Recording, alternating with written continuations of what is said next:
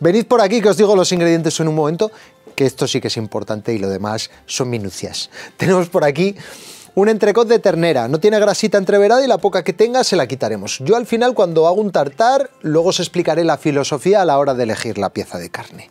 Vamos a ponerle toques thai con salsa de soja, aceite de sésamo, salsa de riracha, que es el picante tailandés por experiencia, por experiencia no, por, por, castigo, luego me saldrá la palabra, que jengibre, ralladura de limón, cebolla morada, pondremos un toquecito, un poquito, por excelencia, ya me ha venido, cómo estoy. Y ponemos cilantro fresco. Pondremos el tallo picadito muy fino, muy fino, muy fino, porque es crujiente y deja un sabor espectacular. Además, plátano macho. Aprenderemos a pelar el plátano macho de una forma muy rápida. Por favor, los seguidores de este Soy Pajares que dejen de reírse, que estamos hablando de cocina. Y luego vamos a hacer un encurtido express a base de mango, esto es mango congelado, Está súper bueno el mango congelado, luego hablamos de él también. Zanahoria, pondremos vinagre, un vinagre de vino bien recio, rebajaremos con agua y le pondremos azúcar moreno. Y de esa forma hacemos el encurtido express. Así que, lo primero de todo, la carne a buen recaudo. Luego hablamos de la pieza que he elegido, que eso sí que es realmente importante a la hora de hacer un tartar. Y vamos con el plátano, que es lo primero. Tenemos aceite de oliva refinado a temperatura suavecito. Esto es como cuando se hacen unas papas bravas. Primero se confita y luego se fríe. Así que vamos a coger el plátano y quitamos las puntas.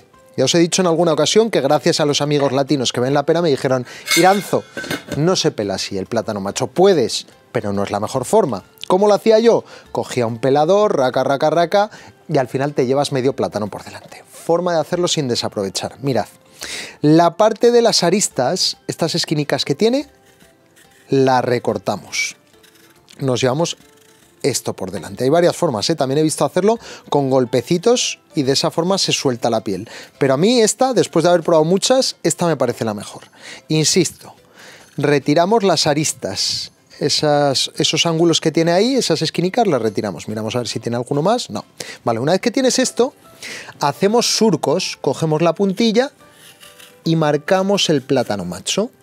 De nuevo riéndose los seguidores de estos y pajares. Ya, ¿vale? Por favor, un poco de seriedad. Marcamos por aquí y hacemos un surco, no demasiado profundo, pero hacemos un surquito que tenga todo, ta, ta, ta, y luego si hace falta, hacemos alguno más ya lo tenemos. Vale, una vez que tenemos esto, tenemos que intentar llevarnos la piel sin llevarnos el plátano. Ya tiene esto hueco para meterle el dedo y mira que mis dedos son un poco, pues ya sabéis, no tengo uñas, un poco así ajados del trabajo de la cocina, pero al final, mira, mira, mira, mira, mira, mira. ¿Veis?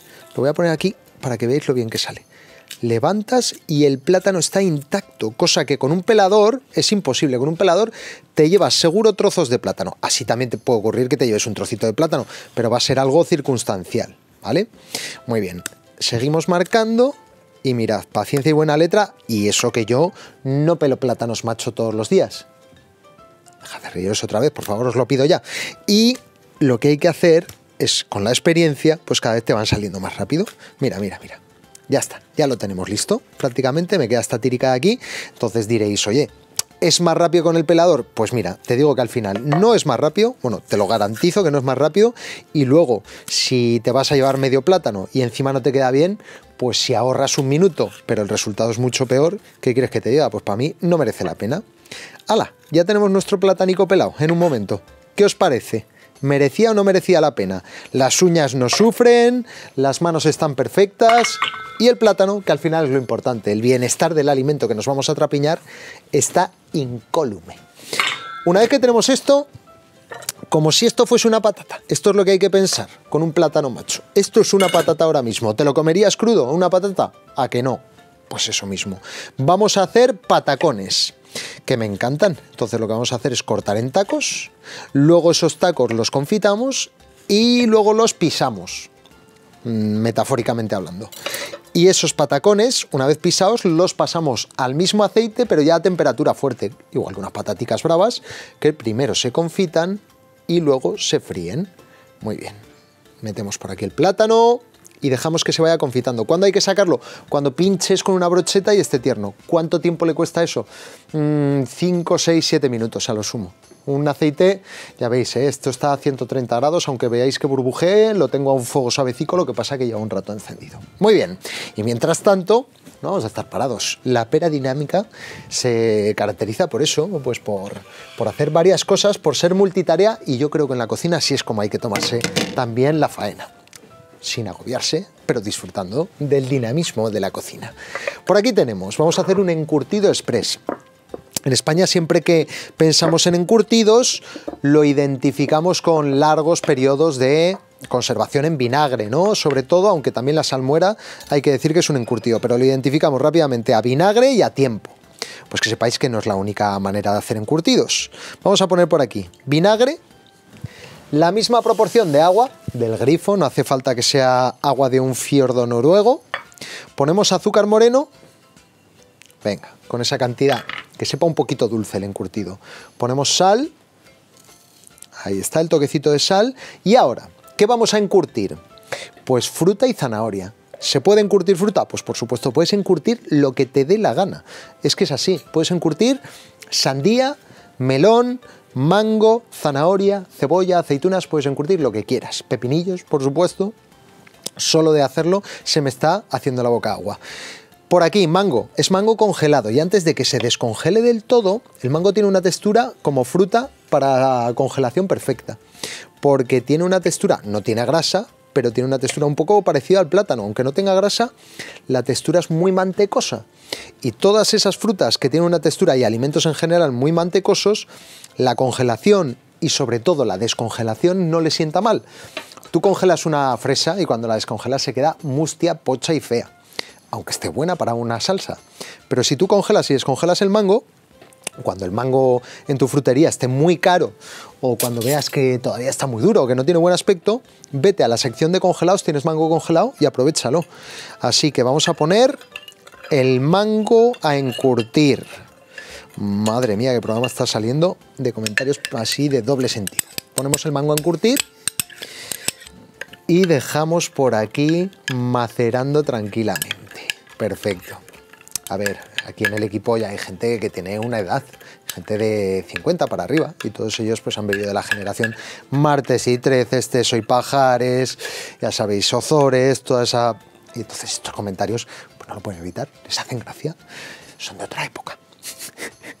A mí también me hacen gracia, he de reconocerlo. ¡Oh! Espectacular. ¿Es esto un encurtido? Ya lo creo. Lo dicho, no todos los encurtidos tienen que estar un mes aquí. Pueden estar cinco minutos y seguirá siendo un encurtido. Y ahora vamos con un nuevo apartado de nuestros cacharros locos. Hoy el pelador a tiras. Tenemos un pelador que a priori parece normal y que sirve para pelar una zanahoria normal y corriente, pero tiene dos tipos de cuchilla.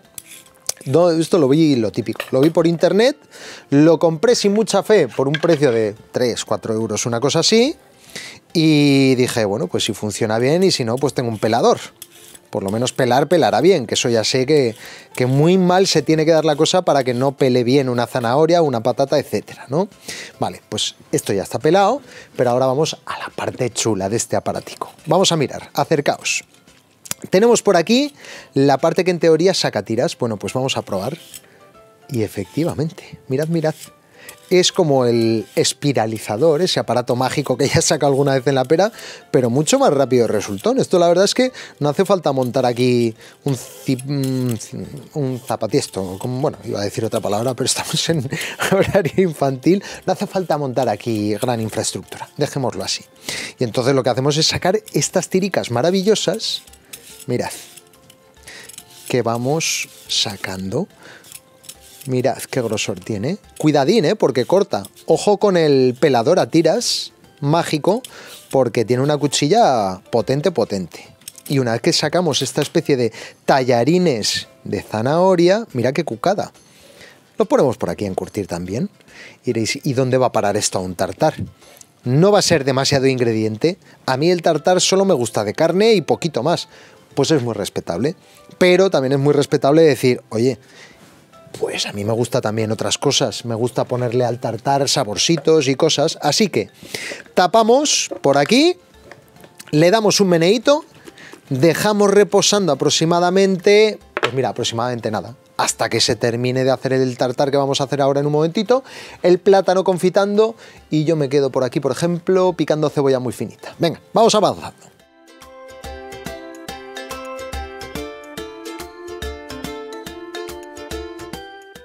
La pesca del plátano macho. Noble deporte. Fijaos, lo que hacemos es pinchar con una brochetica y ya notamos que está completamente tierno.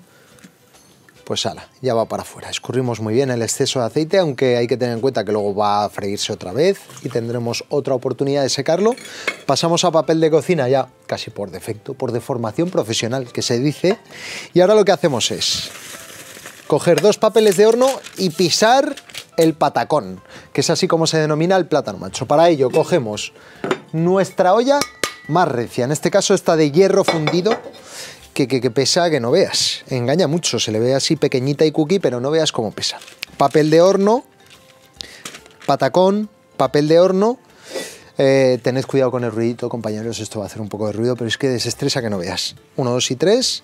Espera, papelico de horno tiene que quedarse bien puesto, ¿eh? Ahí estamos. ¡Oh, qué bien, qué gustico! Si os parece que queda muy grueso, otro golpecito extra y os vais desestresando. Y lo que sucede aquí es que tenemos parte del plátano frito, prefrito, todo confitado y parte blandito, que se podría comer así y estaría muy rico. Le quitamos, fíjate, así como si fuese cera depilatoria. Me ha venido a la cabeza. Le quitamos el papelico de horno el fuego ya está más caliente y ahora introducimos de nuevo esa torteta pisada de plátano. Repetimos la jugada, que esto es muy sencillo y podemos freírla de dos en dos, que además no se pegan entre sí, cosa que mola bastante. Papel, plátano, papel y tacatá. Venga ahí, casi se cae el cuchillo, madre mía, qué mala bestia. Y otro. ¡Oh, qué agustico te quedas! Al de sonido quizá no le haga tanta gracia a Urco, a mi compañero que está ahí con los auriculares. No pasa nada, hemos venido a jugar. Quitamos el papelito de horno. Está muy caliente, muy caliente. No hay que dejar que se enfríe, preferentemente, porque si no se deslavaza un poco cuando lo chafas. Ya no sale una torteta de una pieza, sino que se rompe un poco. Así que hay que hacerlo mejor en calentico. Bueno, ya tenemos ahí un par de tortetas que se vayan friendo y quedando muy crujientes y nos toca el turno de la carne. Fundamental. Vamos con la carne, que hay que sacarla en el último momento. Lo primero de todo es limpiarla de fibras, grasas, etcétera. Y eso era de lo que hablábamos antes. ¿Qué parte elegimos? Porque el solomillo es la más noble cuando hacemos un tartar. Sí, cierto es, también la más cara. Y tenemos otras opciones igualmente ricas, ojo, y en ocasiones más, pero mucho más económicas. Fijaos, yo tengo aquí entrecot, un entrecot de ternera. Podéis coger lomo de vaca también. La clave es que no tenga mucha grasa entreverada, porque la grasa está buena cuando se cocina, en crudo no. Entonces esta parte yo sé que tiene algunas partecitas de grasa, pero no pasa nada. He cogido más peso, estaba súper bien de precio y no me importa. Voy a retirar las partes que tengan un poquito de grasa, las retiro. Y retirarlas, por supuesto, no significa tirarlas. Retirarlas significa que esto lo haré a la plancha y tendremos ahí un auténtico manjar para cenar, a la planchita o para cuando nos apetezca, ¿vale? Estas partes ya que solo son grasa, esas sí que las desecho, no tengo ningún problema, y nos quedamos con las partes más nobles. Entonces, esas partes nobles. Saco tiricas, de esas tiricas saco dados, mejor dicho, bastoncitos, y de esos bastones saco esto. Voy a coger un cuchillo más con más cuerpo, ¿no? Ya que lo tengo, es tontería. Vale. Eh, hay gente que le gusta muy picado, muy picado esto. Hay gente que le gusta incluso pasado por la capoladora. Hay gente que le gusta machacado. Y a mí me gusta así. Daditos de carne que se mastiquen. Y es que esto se deshace en la boca. Con lo cual no hay ningún problema en absoluto. Con esto sí que hay que ser rápido, porque si no se oxida la carne, se enfría, perdón, se calienta en este caso que estoy con el concepto carne. Entonces dejadme un momento que pico a conciencia la carne, volvemos aliñándola y por aquí si os paráis a pensar, las tortetas se irán friendo. Vamos a darles la vueltecica. Mira, por un lado ya están, hasta han suflado. Es plátano suflé lo que ha sucedido aquí, que eso es la mayor maravilla del mundo. Que se infla, queda crujiente. La bomba. Imagínate ahora, coger el tartar, ponerlo encima y a gozar.